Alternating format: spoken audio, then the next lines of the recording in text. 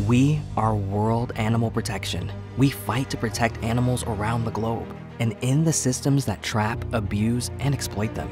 Together, we're changing the way the world works to end animal cruelty and suffering forever.